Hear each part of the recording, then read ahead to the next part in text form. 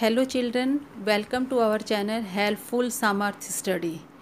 आज मैं आपके लिए ए फोर साइज़ शीट पर एक और एक्टिविटी लेकर आई हूँ, जिसको मैंने एक वाइट शीट के ऊपर बनाया है। आप देख सकते हैं ये वाइट शीट है ए फोर साइज़ और उसके ऊपर मैंने एक पर्पल शीट को कट करके प्लेट की हेल्प से इसके ऊपर पेस्ट कर दिया वाइट शीट के ऊपर और